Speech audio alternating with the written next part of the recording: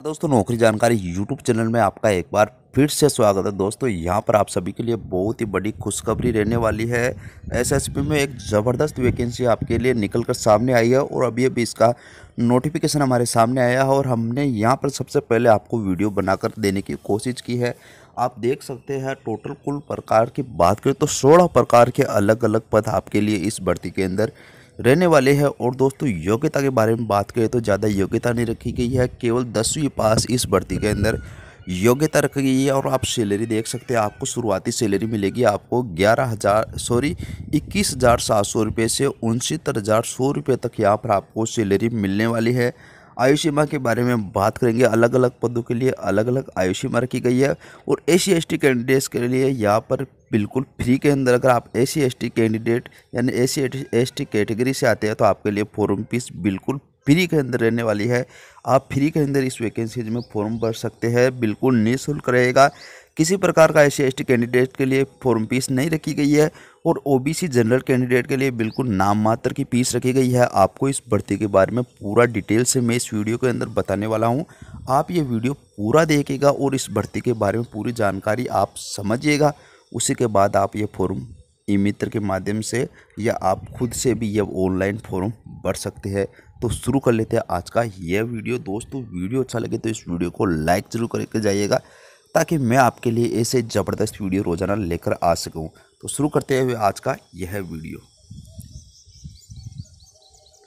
सबसे पहले दोस्तों, इस वैकेंसीज की हम डिटेल से जानकारी प्राप्त कर लेते हैं और इसका ऑफिशियल नोटिफिकेशन भी हमारे पास है। नोटिफिकेशन पर भी हम आपको ले जाके इस भर्ती के बारे में डिटेल से हम जानकारी आपको बताएँगे। आप देख सकते हैं एसएसबी ने यहाँ पे आप देख सकते हैं एसएसबी रिक्वायरमेंट 2020 टोटल 1541 पदों पे आपके लिए ये वैकेंसीज रहने वाली है। सीमा सशस्त्र बल एसएसबी ने विभिन्न विभागों में 1541 पदों पर भर्ती का नोटिफिकेशन जारी किया है। इच्छुक एवं योग्य अभ्यर्थी आधिकारिक वेबसाइट के माध्यम से ऑनलाइन आवेदन कर सकते हैं।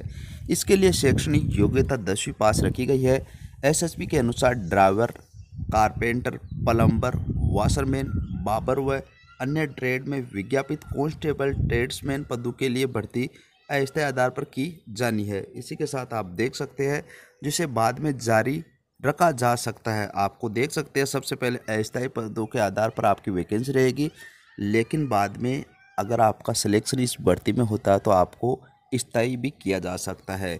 इन पदों के लिए आवेदन योग्य व इच्छुक उम्मीदवार एसएसबी के official recruitment portal S S B R E C double T dot G O V dot in पर जाकर भी रोज़गार समाचार में विज्ञापन के प्रकाशन की तिथि से 30 दिनों के भीतर आप आवेदन यहाँ पर कर सकते हैं।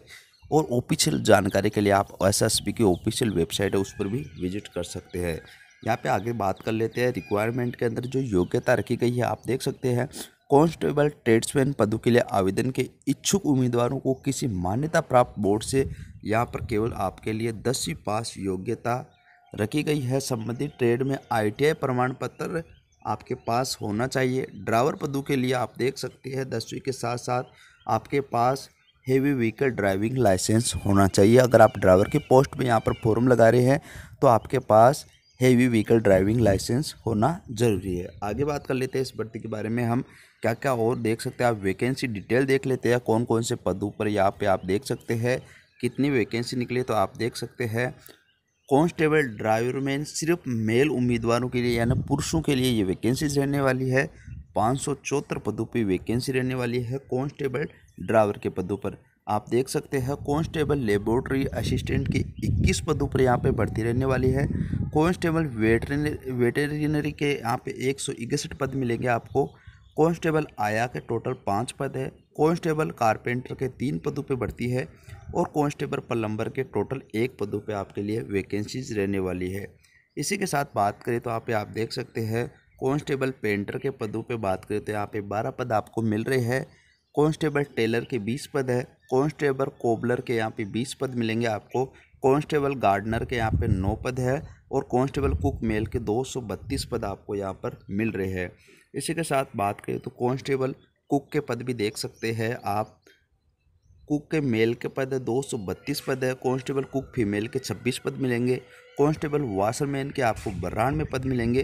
कांस्टेबल वाशरमैन फीमेल के आपको महिलाओं के लिए अट्ठाईस पद है। कांस्टेबल बाबर के यहाँ पे मेल के टोटल पिचहत्तर पद आपके लिए रहने वाले हैं। कांस्टेबल बाबर फीमेल के लिए यहाँ पर आपको बारह पद टोटल मिल रहे हैं। कांस्टेबल सफ़ाई वाला मेल के लिए नवासी पद है। कांस्टेबल सफ़ाई वाला फीमेल के टोटल आपको अट्ठाईस पद मिल रहे हैं। यहाँ पे आप देख सकते हैं वाटर कैरियर के आपको टोटल एक सौ, एक पदों पर आपके लिए वैकेंसीज रहने वाले कांस्टेबल वाटर कैरियर फीमेल के लिए बारह पद है कांस्टेबल वेटर मेल के लिए यहाँ पर एक पद आपको वैकेंसीज मिल रही है। तो इस प्रकार से टोटल आप देख सकते हैं कौन कौन से पदों पर आपके लिए वैकेंसी है। पीडीएफ पर नोटिफिकेशन आपको वीडियो को डिस्क्रिप्शन बॉक्स में अवेलेबल करा दूँगा। जिस प्रकार से हर वीडियो में आपको पीडीएफ फ़ाइल मिलती है, इस वैकेंसी की भी आपको पीडीएफ फ़ाइल मिल जाएगी। एज लिमिट के बारे में बात करें तो कौन कौन से पदों के लिए कितनी एज रखी गई है तो आप एज देख सकते हैं। यहाँ पे कांस्टेबल ड्राइवर के लिए 21 से 27 साल रखी गई है। कांस्टेबल लेब असिस्टेंट के लिए 18 से 25 साल उम्र सीमा रखी गई है। कांस्टेबल पशु चिकित्सा पशु चिकित्सा के लिए 18 से 25 साल रखी गई है। कांस्टेबल आया के लिए यहाँ पर आपके लिए आयु रखी गई है अठारह से पच्चीस साल। इसी के साथ बात करें कांस्टेबल बडई प्लम्बर और पेंटर के लिए जो आयु सीमा रखी गई है वो अट्ठारह से पच्चीस साल है। कांस्टेबल और अन्य पदों के लिए 18 से 23 साल रखी गई है। इसी के साथ आप बात कर सकते हैं एप्लीकेशन फ़ीस की। एप्लीकेशन फ़ीस कितनी रखी गई है? इस भर्ती में तो आप देख सकते हैं जनरल ओबीसी और ईडब्ल्यूएस e कैंडिडेट के लिए सौ रुपये रखी गई है। C S T E X M female के लिए यहाँ पर किसी भी प्रकार की सी एस टी और एक्स सर्विसमैन और फीमेल के लिए यहाँ पर किसी प्रकार की फॉर्म फ़ीस नहीं रखी गई है।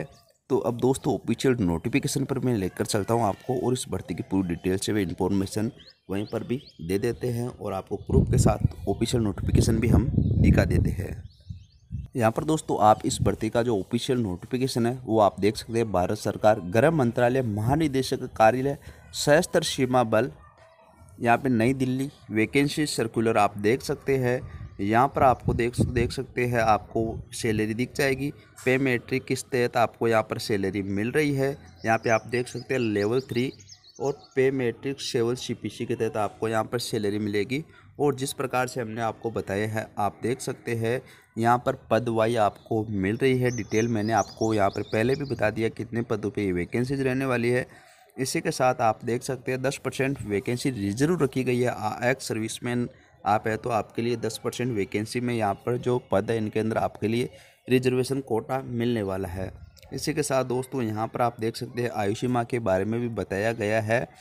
और दोस्तों, आप देख सकते हैं, हर कैटेगरी के लिए अलग अलग आयुषी रखी गई है। आपके लिए लास्ट डेट के बारे में बात करें तो फॉर्म भरने की यहाँ पर जो इसका नोटिफिकेशन जारी हुआ है, उस दिन से तीस दिन आपके लिए यहाँ पर फॉर्म भर सकते हैं आप।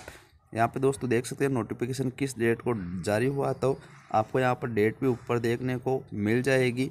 और दोस्तों यहाँ पे आपको पीडीएफ फ़ाइल में वीडियो को डिस्क्रिप्शन बॉक्स में अवेलेबल करा रहा हूँ।